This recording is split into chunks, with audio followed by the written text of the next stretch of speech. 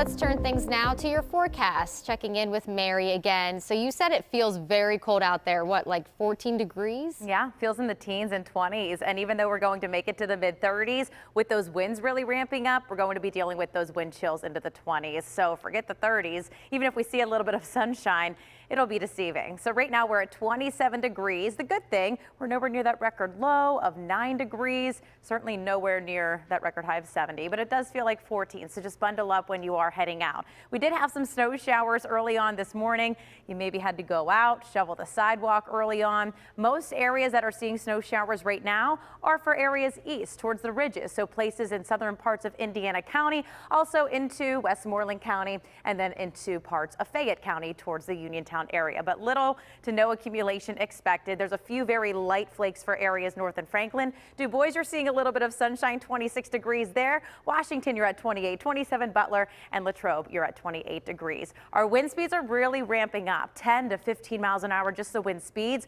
Wind gusts are 20 to 25 miles an hour, and those will continue to ramp up through today. Later on tonight, we could have gusts as high as 30 miles an hour. So it's feeling right now how it's going to feel on your skin as you're heading out the door.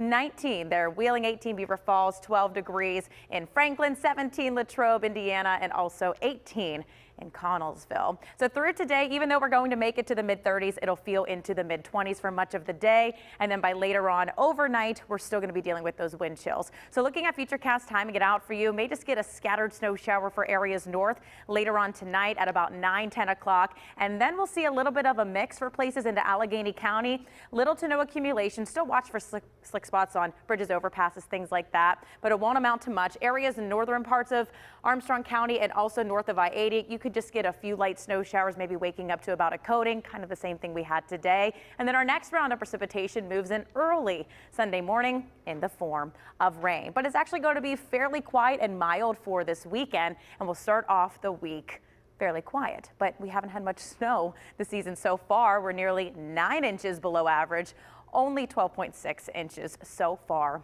this season.